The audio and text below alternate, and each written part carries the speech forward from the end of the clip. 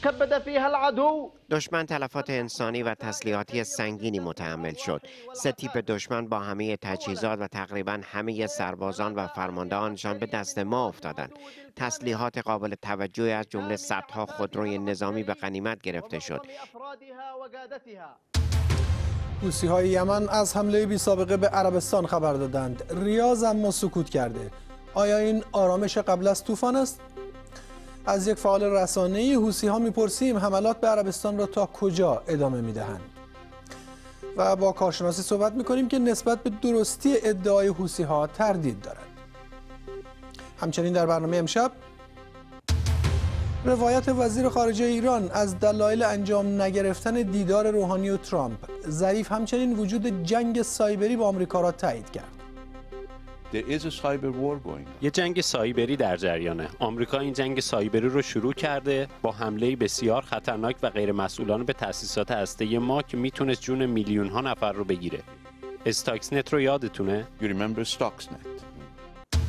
اعلام موجودیت یک تشکل مخالف حکومت ایران چرا باید این گروه را جدی گرفت این سال را از سخنگوی شورای مدیریت گذار می‌پرسیم و یک فعال سیاسی از دلایل مخالفتش با تشکل تازه خواهد گفت.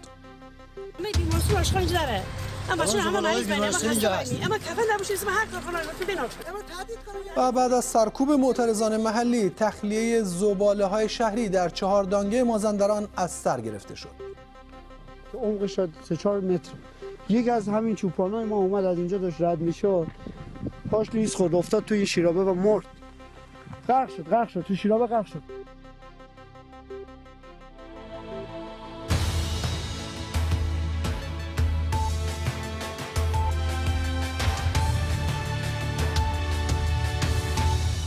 شست دقیقه. زنده از بی بی سی در لندن. حوسی ها می‌گویند در حمله گازنبوری به نیروهای عربستان سعودی کاری کردند که از شروع جنگ یمن در چهار سال و نیم اخیر سابقه نداشته. صدها سرباز عربستان را کشتند. هزاران نفر دیگر را اسیر گرفتند و شمار زیادی از ادوات نظامی آنها را منهدم کردند یا به غنیمت گرفتند. عربستان چیزی در این باره نگفته. حمله های عربستان خصوصا بمباران های هوایی علیه حوسی ها در هفته های اخیر بیشتر شده. پاسخی به اینکه حوسی های زیدی مسئولیت حمله به تأسیسات نفتی عربستان را بر عهده گرفتند. حمله ای که عربستان از چشم ایران می‌داند. بحران یمن بیشتر از هر زمانی تبدیل به مسئله بین المللی شده. ولی آیا حوسی ها با تمام فشارهایی که متحمل شدند ابتکار عمل را در دست دارند؟ رئیس جمهوری ایران با ابتکار صلح هرمز به سازمان ملل رفت. با چنین عملکردی از متحدین منطقه ایران می‌توان اراده ایران برای گفتگو را جدی گرفت؟ بهرنگ تاجدین گزارش می‌دهد. درعت الجيش السعودي این تصاویری است که شبه نظامیان حوسی می‌گویند پیروزی بزرگشان را ثابت می کند. نفربرهایی که در آتش میسوزند، خودروهای نظامی که چپ شدند، سلاحهایی که به غنیمت گرفتند، نیروهایی که اسیر شدند و آرم ارتش عربستان روی یک خودروی به غنیمت گرفته شده. به گفته حوسی ها این پیروزی نتیجه یک عملیات سه روزه در نزدیکی شهر مرزی نجران بوده. وتكبد فيها العدو. دشمن تلفات انسانی و تسلیحاتی سنگینی متحمل شد. سه تیپ دشمن با همه تجهیزات و تقریبا همه سربازان و فرماندهانشان به دست ما افتادند. تسلیحات قابل توجهی از جمله صدها خودروی نظامی به غنیمت گرفته شد. هزاران نیروی دشمن که اکثرا خائن و فریب خورده بودند اسیر شدند و صدها نفر دیگر کشته یا زخمی شدند.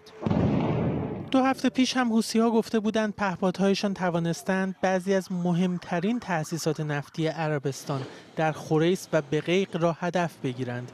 ولی هم عربستان و هم غرب ایران را مسئول این حمله دانستند.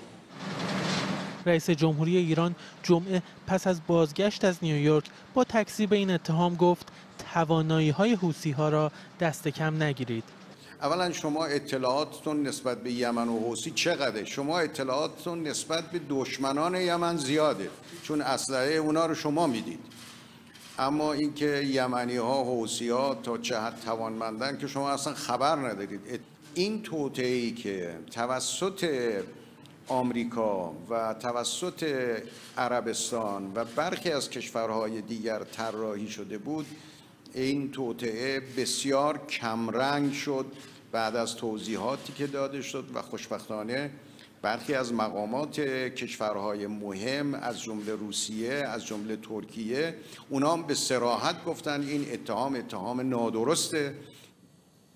دولت یمن که از حمایت بین المللی برخوردار است در مجمع عمومی سازمان ملل به تندی به ایران حمله کرد. تشکل ایران ایران و شاخه‌های نظامیش در جهان عرب از جمله حوثی‌ها و حزب الله خطری جدی برای امنیت ما و امنیت بین المللی است.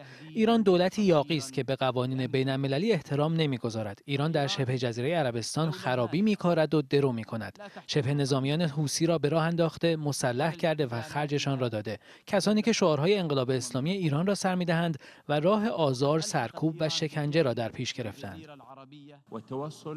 وزیر خارجه امارات متحد اصلی عربستان در جنگ با ها با اشاره به حمله به تأسیسات نفتی عربستان گفت باید موقع تنظیم برجام از کشورهای منطقه هم نظرخواهی می‌شد. توافق هسته‌ای باید دیدگاه کشورهای این منطقه حیاتی را که تاریخ آن را به خوبی درک می کنند در نظر می گرفت.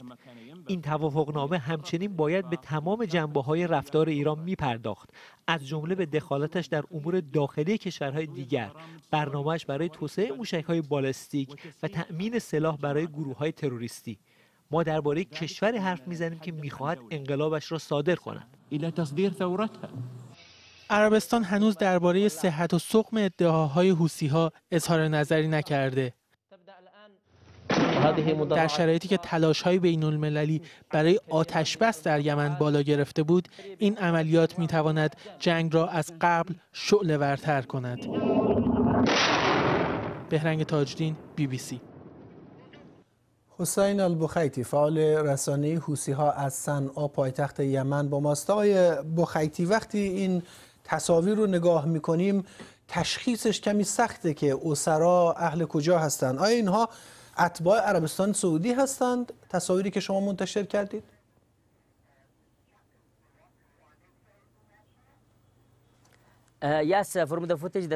بله از تصاویری که ما امروز منتشر کردیم ما دیدیم که دو تا سه نفر از اتباع عربستان هم بین اینها هستند نشون میده که سعودی ها تنها نیستند ولی اینها بخشی از نیروهای کل سعودی هستند و شورای زندانیان صنعا یک ساعت پیش اعلام کرد که یک کنفرانس مطبوعاتی برگزار خواهد کرد و اطلاعات بیشتری را در این مورد سوال شما برگزار خواهد کرد. اطلاعات ما این هستش که ده ها نفر از افسران سعودی و سربازان اونها به اسارت در آمدن در کنار دو هزار نفر از جنگجویان یمنی که مورد حمایت عربستان قرار دارد. این گزارش ها هم وجود داره که اتباع خارجی کشورهای دیگه هم وجود داره که در کنار سعودی ها می می جنگیدند و ما معتقد هستیم که این حمله که انجام شد یکی از اصلی ترین حملات زمینی به نیروهای سعودی و نیروهای تحت و نیروهای مورد و نیروهایی که از هادی حمایت می‌کنند بود.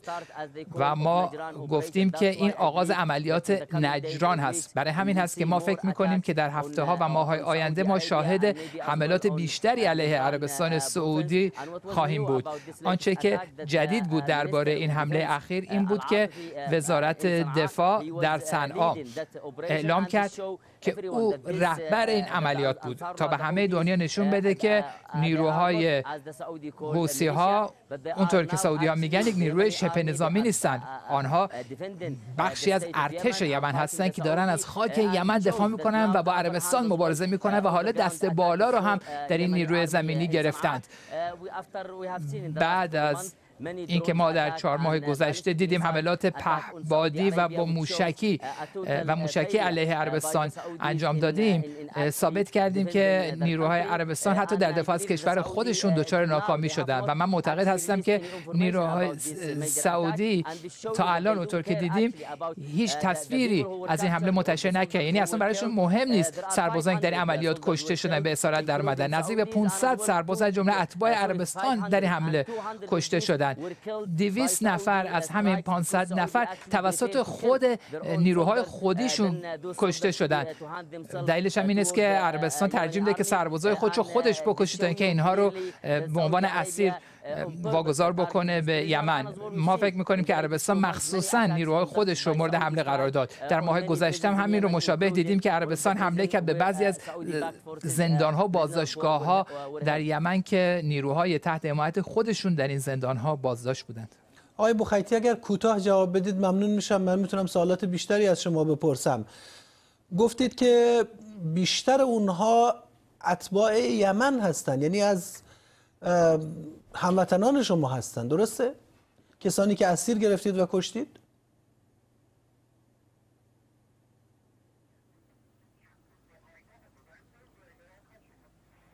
Uh, I, I, uh, I, I couldn't hear your question clearly. Can you repeat it, please? سوال من اینه که بیشتر کسانی که گفتید کشته شدن و یا اسیر گرفتید یمنی هستند یعنی هموطنان شما هستند درسته؟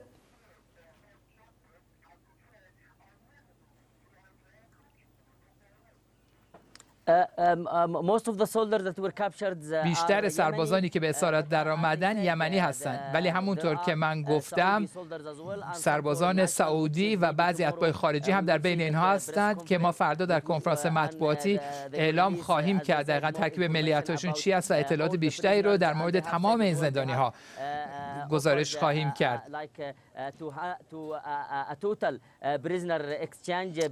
ما همینطور طرح خودمون رو برای تعویض زندانیان هم اعلام می‌کنیم. همین که ما تونستیم دو هزار نفر از اینها رو اسیر بکنیم نشون میده که تاکتیک هایی که ما از طرف ارتش یمن به کار بردیم چه شیوه هایی بوده. من معتقدم که اگه ما بتونیم این حمله هامون رو به همین شکل ادامه بدیم با همین تاکتیک ادامه بدیم می‌تونیم این جنگ رو پایان بدیم.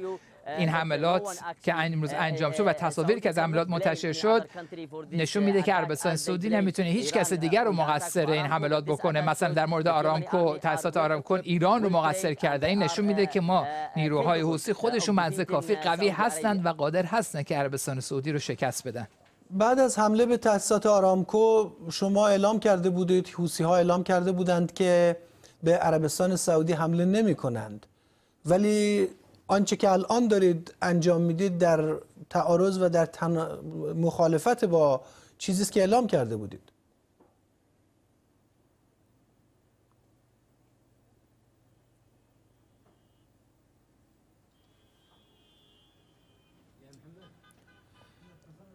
امیدوارم که صدای من رو بشنوید. سوال من این بود که بعد از حمله به تأسیسات آرامکو سخنگویان حوسی ها اعلام کرده بودند که به عربستان سعودی دیگه حمله نمی کنن به خاطر اینکه می‌خوان به گفتگوها شانس بدن می‌خوان به مذاکره شانس بدن. آیا آنچه که اتفاق افتاده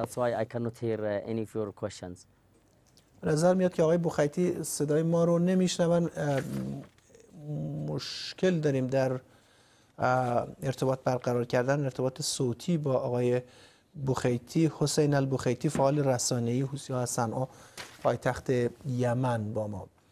از نیویورک در آمریکا هم کاملیا انتخابی فرد با ما هستند سردبیر روزنامه ایندیپندنت فارسی. خانم انتخابی فرد فکر نمی کنید که عربستان سعودی بعد از حمله به تأسیسات آرامکو و بعد آنچه که الان حوسی ها ادعا می‌کنند بسیار در موضع ضعف قرار گرفته؟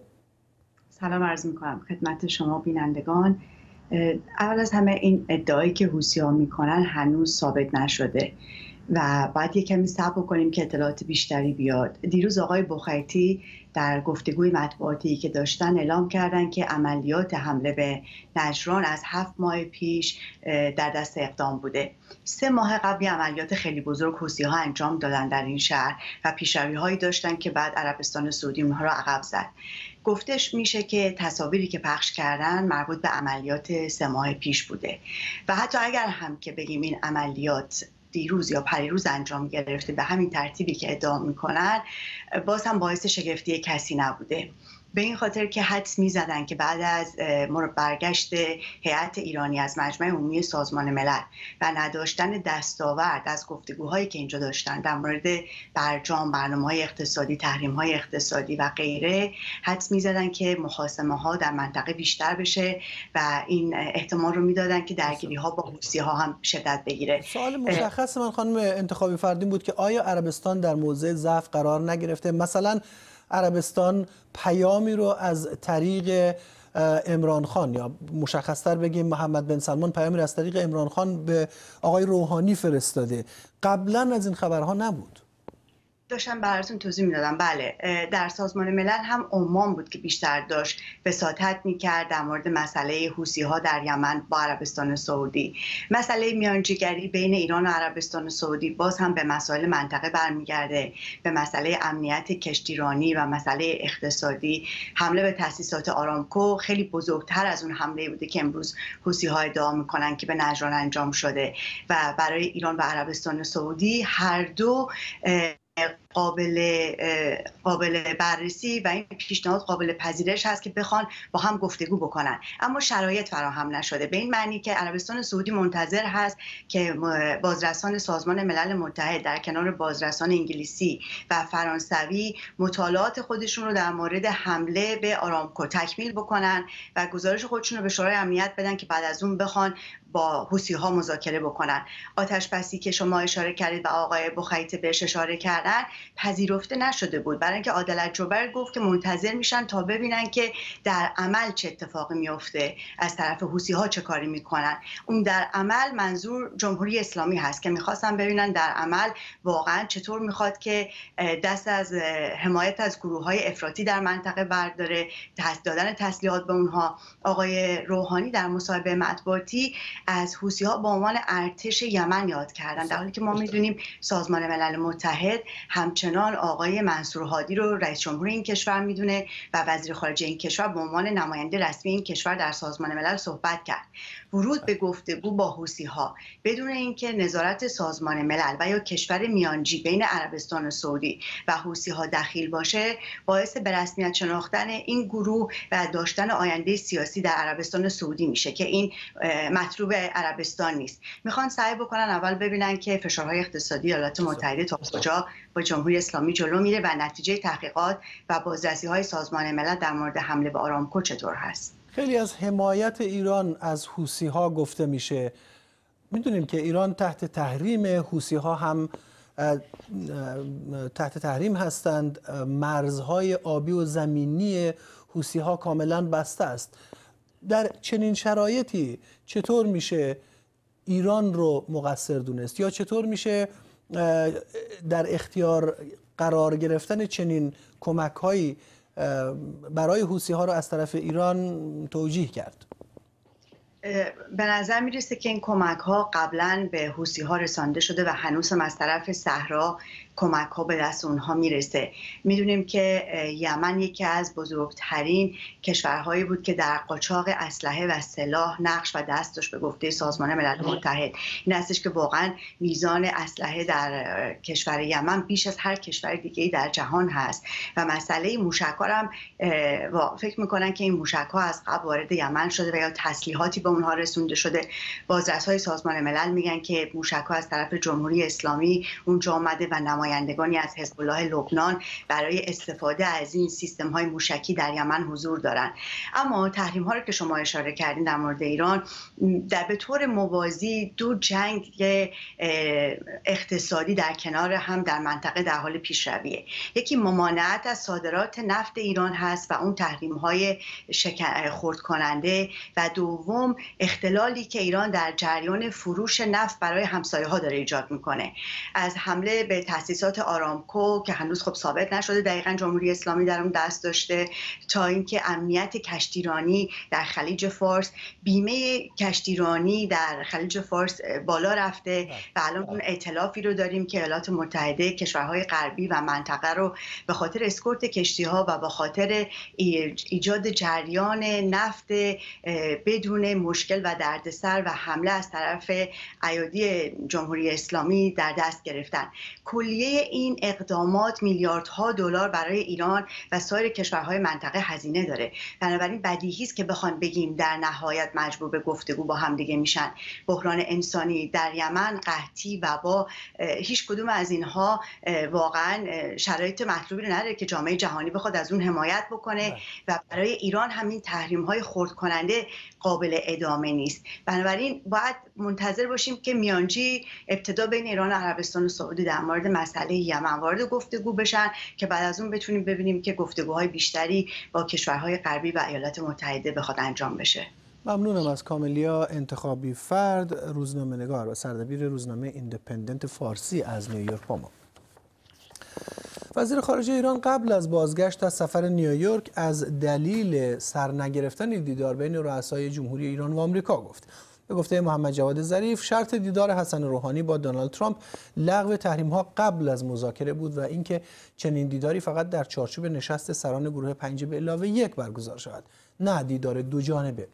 آقای ظریف گفت که دونالد ترامپ در مقابل مایل بود که اول دیدار انجام شود و این احتمال را داده بود که بعد از دیدار تحریم ها برداشته شود.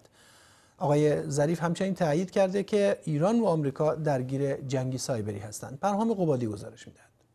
ایران با وجود خروج آمریکا از برجام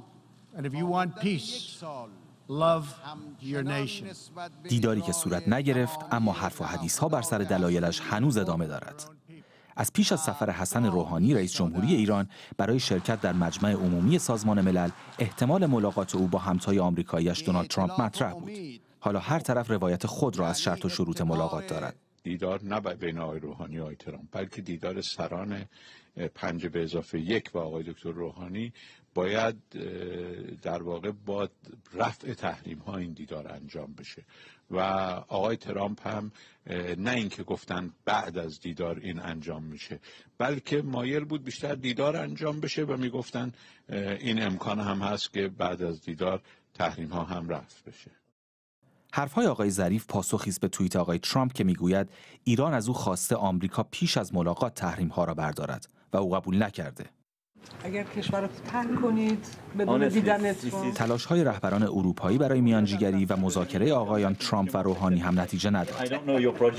چند ماه دیگه آقای روحانی تلاش هایی که برای کاهش تنش میان ایران و آمریکا که پس از حمله به تأسیسات نفتی آرامکو در عربستان بالا گرفت. حملاتی که عربستان و آمریکا می‌گویند کار ایران است اما ایران تکذیب می کند. گزارش های از حملات سایبری تلافی جویانه به تأسیسات نفتی ایران هم هست که ایران آن را رد می کند. اما آقای ظریف در مصاحبه اخیرش گفت میان ایران و آمریکا جنگی سایبری در جریان است. یه جنگ سایبری در جریانه. آمریکا این جنگ سایبری رو شروع کرده با حمله بسیار خطرناک و غیر مسئولانه به تأسیسات هسته‌ای ما که می‌تونست جون میلیون ها نفر رو بگیره. استاکسنت رو یادتونه؟ استاکسنت نام ویروسی کامپیوتری بود که تأسیسات هسته‌ای نتنز را در سال 1389 با مشکلاتی جدی روبرو کرد. در مصاحبه با NBC آقای ظریف احتمال تلافی ایران برای ایجاد اختلال در انتخابات آینده آمریکا را رد و وجود جنگ سایبری را تایید کرد. پس جنگ سایبری وجود داره و ایران درگیر این جنگه. هر جنگی که آمریکا شروع کنه پایانش با اونها نخواهد بود. صحبت از جنگ سایبری در منطقه‌ای که پیشاپیش درگیری های پهبادی، زمینی و دریایی در آن جریان دارد. پرهام قبادی، بی بی سی. یک تشکل سیاسی جدید ایرانی با نام شورای مدیریت گذار در لندن اعلام موجودیت کرد. این تشکل در نشست دو روزش درباره برنامه ها و چارچوب کاری خود اطلاع رسانی کرد. حسن شریعت مداری به عنوان دبیر کل شورای مدیریت گذار معرفی شده او می‌گوید مردم ایران با هیچ دولت و ملتی خصومت ندارند و از همین رو اولین قدم شورای مدیریت گذار مذاکره با همسایگان است شهریار آهی سخنگوی شورای مدیریت گذار اینجا در استودیو با ماست و همینطور حجت کلاشی فعال سیاسی هم با ما هستند آقای آهی اول من می‌خواستم از شما بپرسم که مهمترین هدفی که از تشکیل این گروه سیاسی داری چیه؟ در شرایطی که اقتصاد کشور ورشکسته است 40 درصد زیر خط فقر هستند وضع محیط زیست رو می‌دونید به سوس یا روب رسیده سطح دریاچه ارومیه به 5 درصد حجم آبش رسیده. در بنبست بین المللی قرار گرفتیم. اختناق بیداد می‌کنه فساد بیداد می‌کنه. واقعا کوتاهیه که به فکر آلترناتیوی برای جمهوری اسلامی نبود. وقتی که مردم می‌گویند اصولگرا اصلاح طلب تمام شده ماجرا.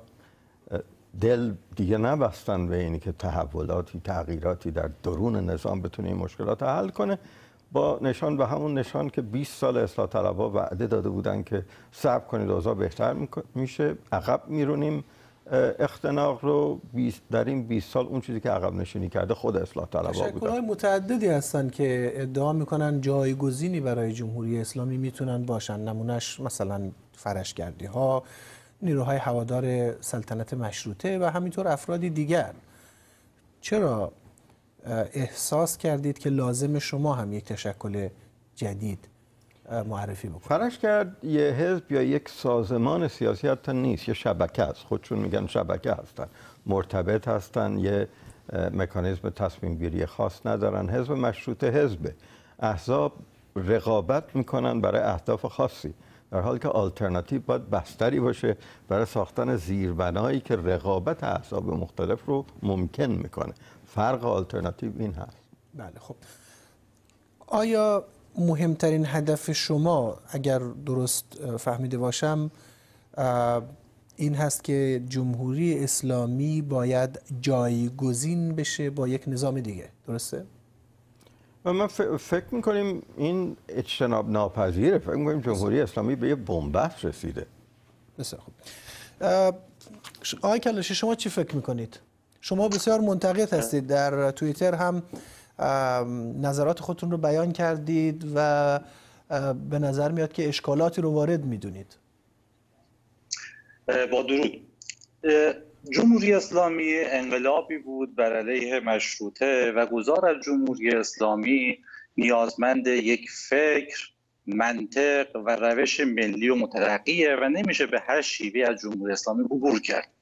من انتقادهای خیلی جدی دارم به این شورایی که تشکیل شده که به فقراتی از اون اشاره می‌کنم. اولین ایرادی که من به این شورا دارم به لحاظ نظریه من معتقدم که این سازمان این شورا در هیچ بنیاد نظری استوار نیست. این چیزهایی هم که میفرمایند جناب آقای آهی که ما به آلترناتیو نیاز داریم آلترناتیو بالای تحولات سیاسی و مناسبات سیاسی نمیسته من فکر می‌کنم که این سازمان و این شورایی که جدیدی که تشکیل شده مقداری بر روی جاه طلبی های شخصی یه مقدار تصورات ساده شده و یه مقدار هم رو خیالات تکیه کرده فاقد بستر نظری و چارچوب فکری مشخصی هستش. از طرف دیگه به لحاظ عینی هم رو حواس یعنی با هیچ تحول و مناسبات داخل ایران مرتبط نیست.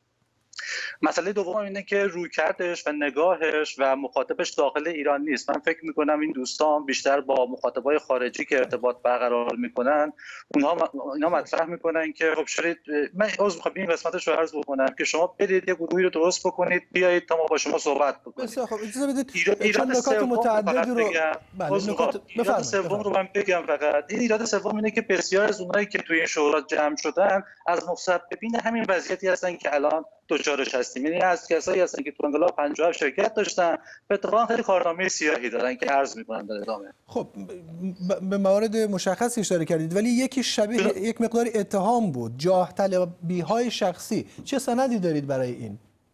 ببینید عرض می‌کنم الان جناب آقای دبیر کلی که انتخاب کردن جناب آقای شهید مدادی حتی مشخص نبود که به عنوان یک آلترناتیو روند چجوری بود انتخاب کردن. کسی رو گذاشتن به عنوان دبیر کل گذر. یعنی اینکه که انتخاب کردن. جاه طلبی شخصی که شما بهش اشاره کردید در کجای ماجرا قرار می‌گیره؟ ببینید وقتی کسی ادعا می‌کنه من بالای احساب قرار گرفتیم ما یک آلترناتیو هستیم و بقیه احساب هستن برای خودش پیشاپیش جایگاهی قائل شده که این جایگاه رو از هیچ جایی دست نیاورده. الا که دی رو دور هم جمع کردن و گفتن ما بالاتر از احساب هستیم. این در ذات خودش یک جاه طلبی داره بسیار. و بعد مهمترین چیزی که من اشاره می‌کنم اینه که اینا کارنامه سیاهی دارن. بسیار. خب آقای آهی چه پاسخی دارید؟ والا نمی‌دونم از کجا شروع بکنم. بنیاد نظری نداشتن اتفاقا بنیاد نظری بسیار محکمی داره و اون هم گفتمان غالبی که 20 سال لااقل 20 سال شکل گرفته تو اپوزیسیون و اونم اینه که ما باید برسیم به یک دموکراسی سکولار مبتنی بر اعلامیه جهانی حقوق بشر. یعنی دولتی که بر مبنای رأی آزاد مردم تشکیل شده و حد حکومتش حد حقش هم اعلامیه جهانی حقوق بشره. همین کافیه. و با هیچ کسی هم که این رو قبول داشته باشه مشکلی نداریم. مشکل بزرگ داریم با هر کسی که اینا قبول نداشته باشه چون دنیای امروز جامعه متمدنه. اینی که بالای احزاب قرار گرفته بالکل غلطه. به باور شخص من. کنگره ملی که می‌تونه جای همه باشه مشارکت احزاب مختلف باشه الان شاید ظرفیتش نباشه که این کنگره بالای احزاب قرار بگیره. بلکه احزاب باید بالای این قرار بگیرن. جایی باشه به صورت اسامبله به صورت مجمع شور بکنن روی پروژه های توافق بکنن. هر کدومشون توافق کردن این پروژه ها رو به عمل بیارن برای اینکه این آلترناتیو شکل بگیره. در روز اول هم نمیشه گفتش که ریشش چی هست. شاید شما ایشون اطلاع نداشته باشن ولی از پیام هایی که برای شورای گذار رسیده بخش مهمیش از فعالین داخل کشور هستند 14 نفر از 35 نفر اعضای شورای گذار از داخل کشور هستند مسببین انقلاب 58 من خودم مشکل دارم. با روشنفکران همسن خودم که تعجب می‌کردم در زمان انقلاب اینها قبول کردن که حاکمیت خدا روی زمین بیاد مبنای حکومت جدید بشه. مخالف جمهوری اسلامی بودم از بد وجودش حتی از قبل آیه کلاشی دست کم نمیشه ثابت کرد که افرادی که اینجا هستند ارتباطی با تحولات داخلی ایران ندارند. بعد از تحولات اخیر این جریان شکل گرفته. درسته؟ من بله منظورم این نیستش که اینا هیچ نوع ارتباطی با جامعه ایران ندارن بحث اینه که وقتی کسایی میگن ما مدیر ما شورای گذار هستیم باید در ایران اتفاقاتی افتاده باشه اون اتفاقات مثل این باشه که موتور یا ماشین حرکت نظام رو متوقف کنه تظاهرات توی خیابون باشه اعتصابات سراسری باشه سردسته ها و یا رهبران اون جریان ها بیان که شورای برای مدیریت تاسیس بکنن. آقای جناب آهی اون پاسخی رو که دادن و فرمودن که ما بالای اعصاب نایستادیم اگر توجه بکنن در قسمت اول در پاسخ به شما گفتن که ما بالای اعصاب ایستادیم همه اینا نشون میده که بنیان نظری ندارن.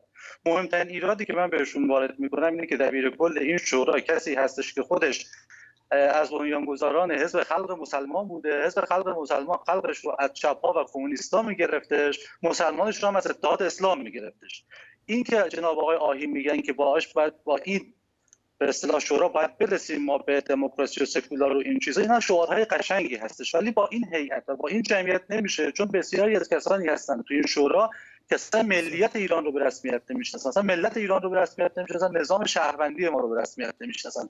دموکراسی در چارچوب گفتگویی است در چارچوب نظام شهروندی ملی ما. هر کسی این رو قبول نکنه بیرون این چارچوب ایستاده و نمیشه باش به دموکراسی رسید. آیا آهی چه پاسخی دارید؟ میگن که مثلا اگر شما به دنبال دموکراسی سکولار مبنی بر اعلامیه جهانی حقوق بشر هستید چطور میشه این کار کرد؟ شاید بسیاری چنین ادعایی داشته باشند خیلی خوبه که بسیار این ادعا دارن. عرض کردم این گفتمان غالب شده. ولی من واقعا نمی‌دونم بر چه مبنای ایشون میفرمایند که این مبتنی بر قبول ملت ایران یا شهروندی ایرانیان نیست. درست برعکسه میگن بعضی از افراد چنین دیدگاهی ندارن در این تشکل. نام ببرم بنده نمی‌شناسم چه کسانی هستند که چنین ادعایی دارن من از جناب آقای تعجب می‌کنم بدون شناخت شورا عضو شورایی و سخنگوی شورایی شدن که قرار ایران رو گذار بده. ببینید خانم ناهید بهمنی در مصاحبه به صراحت گفت ازشون پرسیده شده آیا شما ملت ایران رو قبول دارید؟ به این صورت گفته من چیزی به نام ملت ایران رو قبول ندارم. آقای زیا صدرالاشراف که اتفاقا جالبه ایشون متخصص کشاورزی تو این شورایی که تشکیل دادن ایشون رو گذاشتن بخش فرهنگی. ایشون یه مصاحبه جالبی داره. به ایشون میگه که اگه بپرسید از کسی که ملیت چیه اگه گفت من ملیتم ایرانیه اون شارلاتان سیاسی. بسیار خب اجازه بدید خیلی دیگه وارد این بحث نشیم. بخاطر اینکه این افراد نیستن که از دیدگاه خودشون دفاع بکنن. احتمالاً اونها اونها ممکنه که نظر دیگری داشته باشن. آیا شما بفرمایید چه توضیحی دارید؟ آیا چیزهایی که آقای کلاشی میگند مشکل ایجاد می‌کنه برای شورایی که تشکیل شده الان شورای مدیریت گذار؟ اسناد شورای مدیریت گذار کاملا گویای این هست که حاکمیت با مردم ایران و بس و قانون اساسی جدیدی که باید تدوین بشه نتیجه کار یه مجلس مؤسسان منتخب آزاد همه مردم ایرانه. این چیزی که ما ازش دفاع می‌کنیم. و من در مقام دفاع از هر ایده هر شخصی که در با شورای گذار امروز کار می‌کنه یا در جهت ایجاد یه آلترناتیو یا دموکراسی آینده ایران کار می‌کنه نیستم. من فقط در قالب اون توافقها و مبانی این شورا شورای گذار این سازمان هستم. اونا کاملا روشنه. اونا کاملا مبتنی بر حکومتی برخواسته از آراء همه مردم ایران است. متشکرم از شهریار راهی. سخنگوی شورای مدیریت گذار اینجا در استودیو و همینطور حجت کلاشی فعال سیاسی و از منتقدان این شورا. قاضی پرونده شبنم نعمتزاده دختر وزیر سابق صنعت ایران از کشف یک انبار جدید دارو متعلق به او خبر داده. دادستان کرج هم گفته که ارزش داروهای این انبار یک میلیارد و 600 میلیون تومان است و داروها خارج از ضوابط و مقررات نگهداری می شده این در حالی است که مردم از کمبود و گرانی دارو شکایت دارند. فرین آسمی گزارش می‌دهد. ما واقعیت ها رو کشف کردیم. بقیه متهمین در حال تعقیب هستند. انبارهای شما یک به یک کشف خواهد شد. این جلسه سوم رسیدگی به اتهامهای شبنم نعمتزاده دختر وزیر پیشین صنعت و احمد رضا لشکری پور مدیرعامل شرکت دارویی رساست. جلسه ای که در آن قاضی دادگاه از کشف یک انبار دارو در کرج خبر داد. حالا آقای لشکری پور می‌گوید انبارها را خانم نعمتزاده اجاره می‌کرده و بارها درباره اجاره چند انبار صحبت کرده بود. عبارتی که خود خانم نعمتزاده در مورد پخش و در مورد داروخانه داشت می‌گفت داروخانه و شرکتاش مثل کیف پول میمونه. چرا؟ چون هر روز تو این شرکت ها پول میاد میره. چند شرکت دارویی از خانم نعمتزاده و شرکت دارویی رسا شکایت کردند.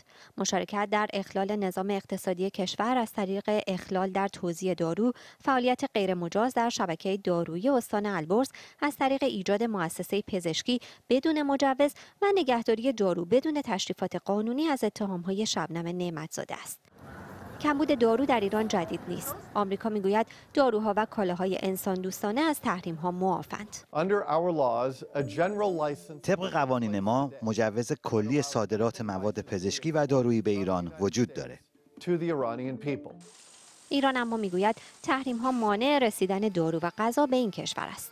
الان کاری که دارن می‌کنن اینه که بانک مرکزی که قبلا تحریم شده بود رو با یک عنوان دیگری تحریم می‌کنن البته این اقدامشون نشون دهنده تلاششون هست برای اینکه مانع بشند از خریدهای بین المللی ایران از رسیدن غذا و دارو به مردم ایران محدودیت های تجاری ناشی از تحریم ها و ترس از جریمه های آمریکا باعث شده خیلی از بانک ها و شرکت ها تمایلی به معامله با ایران نداشته باشند. وزارت بهداشت هم پیشتر گفته بود کاهش بودجه به دلیل افت شدید صادرات نفت تاثیر زیادی بر این وزارتخانه داشته است. اما هستند کسانی که معتقدند داروهای ایرانی جایگزین داروهای خارجی شده و تحریم ها اثری ندارد. علیرغم همه فشارها همه تحریمایی که کشور را شما مواجه می‌بینین امروز داروخانه های ما مملو از داروه و این نشون میده که واقعا اهرام تحریم نمی‌تونه این مردم را از پای در بیاره در این میان این شهروندان هستند که باید کفش آهنین بپا کنند و به دنبال دارو داروخانه ها را زیر و رو کنند قرص فلکسیتی می‌خوام. نیست. ایرانی شو. ایرانیش نیست. مال سایتان می‌خوام. ندارم. تموم شده خیلی وقت. خب چرا باشه آخه داره؟ اینجاست که مسئولان گناه کمبود دارو را به گردن بازار سیاه و دلالان خیابان ناصر خسرو میاندازند. سی سال پیش بنده معاون وزیر بهداشت بودم در شورای معاونین مطرح شد که آقا یک جریانی به نام ناصر خسرو داره خون مردم رو میمکه.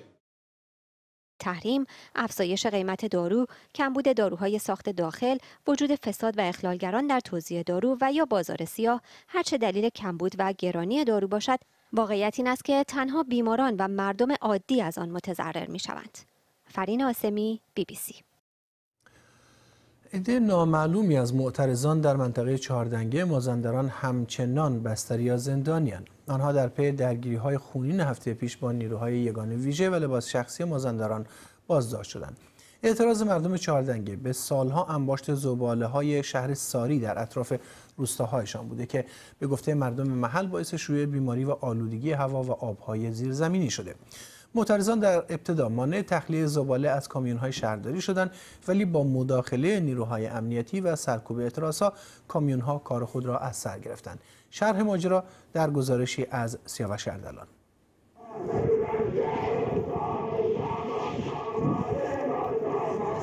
اینجا جبهه جنگ با عراق نیست.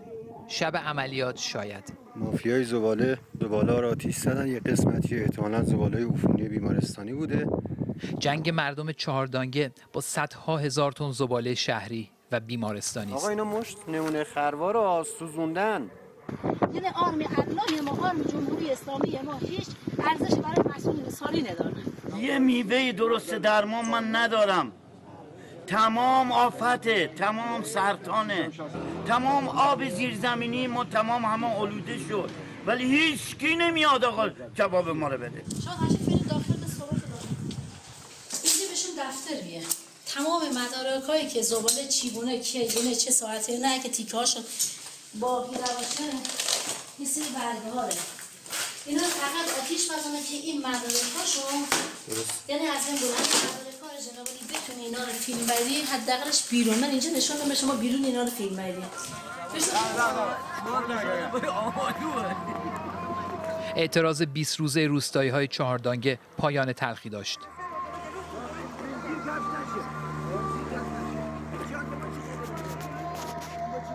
حالا کی تلویزیون کی بیه؟ یگان ویژه یگان ویژه. بمونه براش نه دو هزار تا صدها کیلومتر آن سوتر اینجا در دمشق. یکی از اهالی چهاردانگه برای روستایش دعا می کند یا حضرت زینب بیوی جان شر این زباله را از سر مردم چهاردانگه کم کن. این مردم رو نجات بده. این مردم مظلومن. به حق مظلومیت خود این مردم رو نجات بده. این دعا مستجاب نشد. شیرابه های جوشان همچنان واقعیت زندگی برای ساکنان مذهبی چاردانگه است و واقعیت مرگ. که عمقش شد 3 4 متر. یکی از همین چوپانای ما اومد از اینجا داشت رد می‌شد. پاش لیز خورد افتاد توی شیرابه و مرد. غرق شد غرق شد تو شیرابه غرق شد. مسابقات بین المللی کشتی آزاد در ساری سال 1384 برای ساکنان چهاردانگه پنجه انداختن با حیولای زباله ها از این زمان شروع شد. خاطر وجود مسابقات کشتی جام جهانی در ساری گفتن آقا خواهش التماس که آقا ما یه سه ماه اینجا بریزیم مسابقات جام جهانی که کشورهای بیگانه هم هستن یه ذره جمع بشه قضیه. جمع بشه و بعد دیگه آوردن زباله اینجا گذاشتن سه ماه قرارداد بستن بعد سه ماه کردن 6 ماه و 9 ماه دیگه موند. گفت آقا صبر کن ما زباله سوز بسازیم ببریم این برانور تا رسید به اینجا. هیچ قانونی رو از نظر بهداشتی رو رعایت نکردن. وحشتناک این قضیه یه فاجعه انسانیه.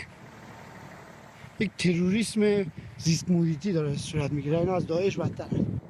زباله های بیمارستانی همچنان میسوزند و شیرابه ها همچنان میجوشند.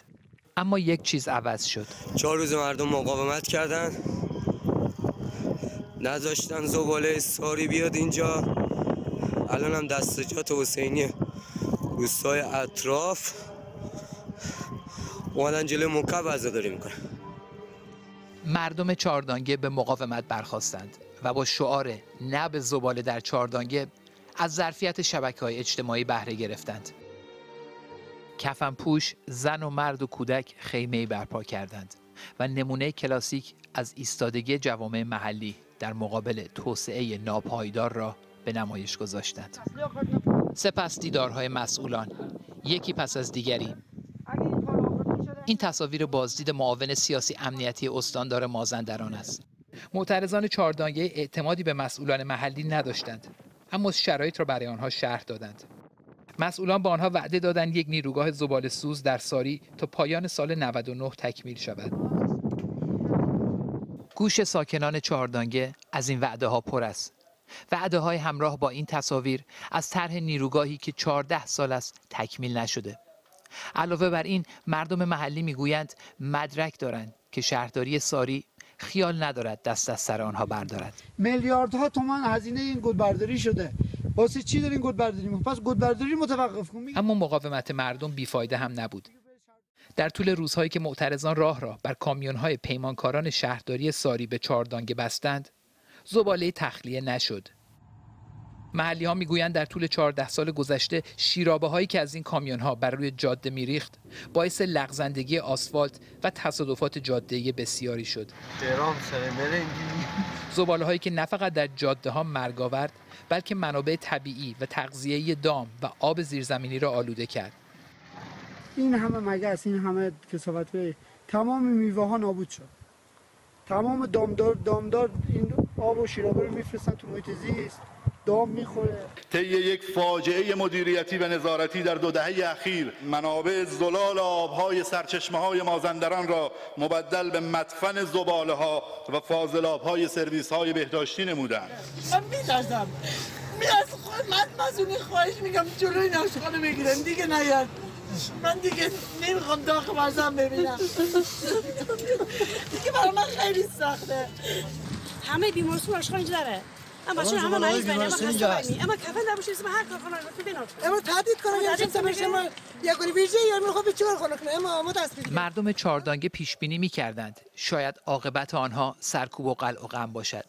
اما باورش برای این مردم مذهبی و اغلب معتقد به نظام دشوار بود.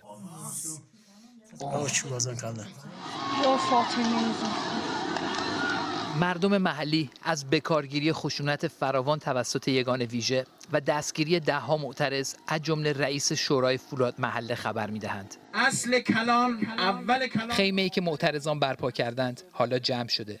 آوردن زباله به اینجا مساوی با مرگ تدریجی. دیگر از اعتراض ها به انباشت زباله خبری نیست. ولی کامیون های زباله با اسکورت یگان ویژه کار خود را از سر گرفتند. تمام این شیرابه ها الان جذب خاک این گزارش شبکه محلی صدا و سیما از بحران زباله ها در چهاردانگه و صدای معترضین محلی هرگز پخش نشد ولی در شبکه های اجتماعی دیده شد. چقدر زمان می‌بره؟ وضعیت اسفناک زباله در استانهای شمالی چهره این منطقه از ایران را به هم ریخته. از سواحل محمود آباد تا جنگل های سراوان. دولت بیش از یک میلیارد دلار اعتبار برای کمک به حل موضوع داد. ولی مجلس تصویب نکرد. شاید اگر نبود سوء مدیریت در شهرداری های شمال ایران بدون این پول هم می‌شد مشکل را حل کرد. فعلا شیرابه های جوشان و سرکوب های خشونتبار سهم مردم چاردانگه از این سوء مدیریت است. سیاوش اردلان بی بی سی. اعظم بهرامی کارشناس محیط زیست از شهر تورین ایتالیا با ماست. وقتی به نقشه نگاه می‌کنیم خانم بهرامی چهاردانگه بیشتر از 100 کیلومتر با ساری فاصله داره. چرا شهرداری ساری زباله ها رو به اون منطقه می‌بره؟ اون چیزی که گزارش ها و صحبت ها و مصاحبه های منتشر شده نشون میده اینه که تاریخ خیلی طولانی گذرونده این ماجرا و اول قرار نبوده که به شکل دائم باشه. این احتمالا یه توافقی بوده چون اون منطقه پر از روستایی زیاده تعداد روستاها زیاده و هماهنگ کردن با همه اونها اگر همچنین چیزی گفته شده غیر ممکنه. عملا قرار بوده که شهرداری از اونجا به عنوان یه محل موقتی برای دفن زباله استفاده بکنه ولی انقدر این پروسه طولانی شده همونجوری که اشاره شد گزارش 14 ساله که بدون هیچ زیرسازی زباله ها اونجا رهاسازی شده عملا که به هر حال وضعیت رو به این شرایط شکننده رسونده. احتمالا نیروهای محلی مثل شهردار مثل شهربانی ها مثل دهیارها مثل افرادی که به هر حال نمایندای نیروهای محلی بودن هم نتونستن تو این مدت طولانی به یه توافق جامعی برسن یا اینکه موضوع رو به شکل غذایی دنبال بکنن به نتیجه برسونن یا اینکه خودشون تبانی داشتن با گروهایی که به هر حال مافیای زباله رو دارن در اونجا دارن هدایت می‌کنن. چیزی که مسلمه اینه که حتی در سال 92 نامه ای منتشر کردن این 15 تا روستا و این نامه رو تقاضا دادن طبق اون نامه مشخصا که ما می‌خوایم که این تخلیه زباله متوقف بشه و اونها پروسای قانونی که پتانسیلش وجود داشته رو طی کردن. روستاییان و کسایی که اون محل زندگی می‌کردن. در طول این 14 سالی که اشاره کردید سابقه داشته که باز هم موضوع امنیتی شده باشه.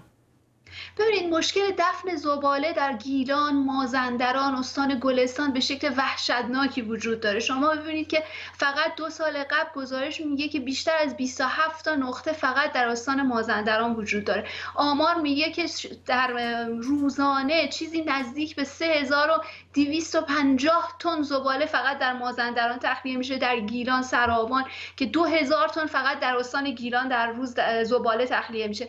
به این ترتیب ما می‌تونیم بگیم که وضعیت بسیار شکننده و آشفته است و علاوه بر اون که بحران کمپلکس و ترکیبی به وجود اومده. چون فقط مسئله زباله نیست. همونجوری که گزارش هم اشاره می‌کنه شیرابه هایی که در زمین های کشاورزی میرن احتمالا شالیزارها با اونا آب داده میشن. بیماری مردمی که در اون منطقه زندگی می‌کنن. اعتراضات متفاوتی بوده. روستاییان الان فکر می‌کنم که اولین گروه تخریبای محیط زیستی هستن که آسیباش رو دارن زندگی می‌کنن. در حوزه آب در حوزه زباله همیشه اعتراضای زیادی بوده توی استانهای مختلف. در سراوان اعتراض شده در لوشان رودبار اعتراض شده. برای اینکه اونجا هم زباله صنعتی رهاسازی می‌شدن. ولی اینکه اینطور به خشونت بکشه مردم بازداشت بشن و ضرب و بشن به خاطر موضوعی که حق اولیه زندگی و سلامت اونهاست شاید کم سابقه تر بوده. به جز در حوزه آب که ما اینو داشتیم که همیشه معترضین به شدت باشون امنیتی برخورد شده. خیلی خیلی کوتاه. مشکل در کجاست؟ مثلا اعتبار لازم تامین نشده مدیریت یا موضوع دیگه؟ خیلی کوتاه لطفا. خود شهرداری داره پول مصرف می‌کنه که زمینای بیشتری بخره برای دفن زباله. بارها این پول مصوب شده جاهای دیگه هزینه شده. من فکر کنم که بیشتر اینه که دغدغش وجود نداره. مسئولین مرتب دارن عوض میشن ایدهاشون تغییر می‌کنه. سازمان محیط زیست نظارتی نداره و عملا مردم صداشون به جایی نمی‌رسه تا زمانی اینکه خودشون دامهاشون زمینهاشون کارایی و در واقع کارآمدیش از دست بده و وضعیت اینقدر شکننده و آشفته بشه که کار به حضور نیروهای نظامی بکشه. ممنونم از اعظم بهرامی کارشناس محیط زیست از تورینو ایتالیا با ما. اخیرا در ایران اعلام شد سی هزار گوشی تلفن همراه که به صورت غیرقانونی ثبت شده بودند شناسایی و غیر فعال شده. این خبر اعتراض و حتی اعتصاب عده‌ای از فروشندگان و خریداران موبایل را در پی داشت. اما ماجرای این گوشی ها چیست؟ چطور وارد بازار ایران می‌شوند و تکلیف کسانی که این گوشی ها را خریده اند چه می شود مهدی بیگی گزارش می‌دهد. اول مهر ماه اعتصاب عده‌ای از فروشندگان تلفن همراه در پاساژ علایالدین تهران. از مراکز عمده فروش گوشی های موبایل. در توضیح این ویدیو نوشته شده این فروشندگان به انحصاری شدن فروش موبایل توسط شرکت های وابسته به دولت اعتراض دارند. اما به نظر علت دیگری هم برای این اعتراض ها هست. مسدود شدن و یا به گفته مسئولان دریافت هشدار برای مسدود شدن سی هزار گوشی مسافری که در ثبت آنها در سامانه همتا تخلف صورت گرفته. ما اون سی هزار تا رو که در سامانه داریم هر کسی الان استعلام بکنه بهش اطلاع میدیم که این سی هزار تا غیر قانونی و هفت هزار تا هم بود که سیم کارت خورده بودن. به این هفت هزار تا ما پیامک اختار ارسال کردیم. من اینجا می‌خوام تاکید بکنم که ما به هیچ عنوان قطع نکردیم. هم گوشی آقای احبری میفرمان قطع رئیس اتحادیه دستگاه های مخابراتی در همین برنامه گفت که تعدادی از این گوشی ها قطع شده و به طور کلی قاچاق بودن این گوشی ها را رد کرد. ما اومدیم استعلام گرفتیم. اعضای ما هنگام خرید و فروش گوشی در سامانه هم تا استعلام می‌گیرن. اگر گوشی ها با تخلف ثبت شده باشند که هیچ.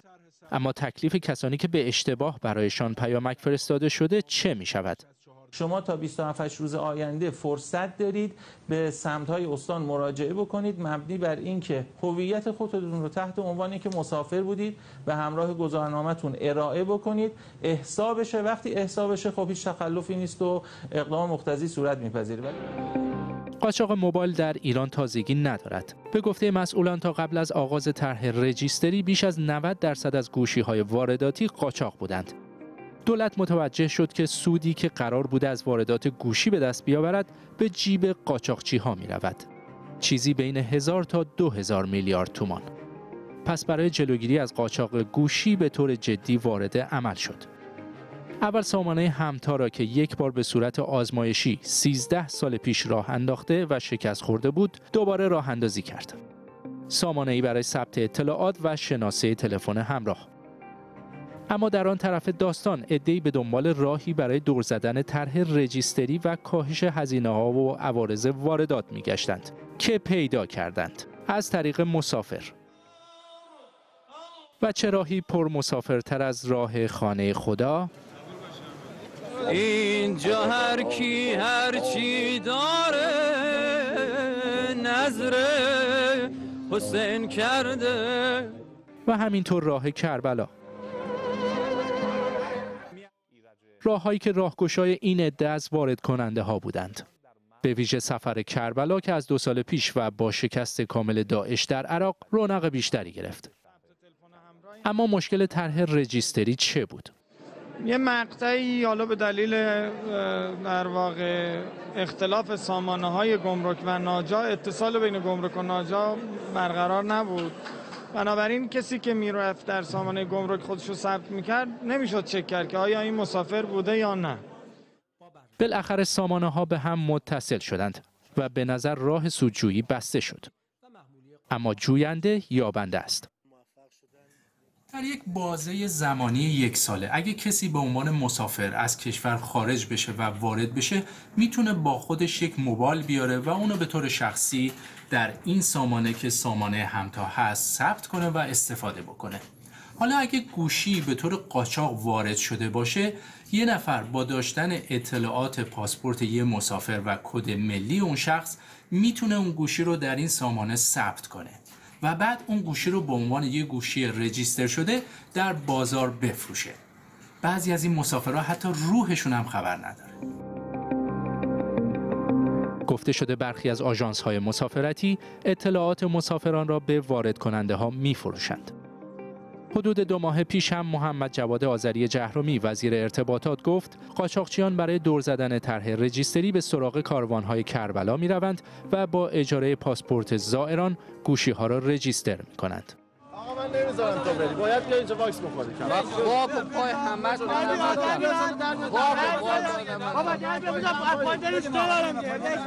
تخمین زده شده امسال برای مراسم اربعین چهار میلیون مسافر ایرانی راهی عراق شوند. رئیس انجمن وارد کنندگان موبایل و تبلت گفته اگر افراد سودجو بتوانند به اطلاعات نیمی از این جمعیت برسند به ازای هر گوشی دولت از 80 دلار عوارض 9 درصد ارزش افزوده و 5 درصد عوارض واردات محروم خواهد شد. مهدی بیگی بی بی سی. تلفن همراهش ذخیره کرده بود. ممنونم از همراهی شما با این برنامه 60 دقیقه.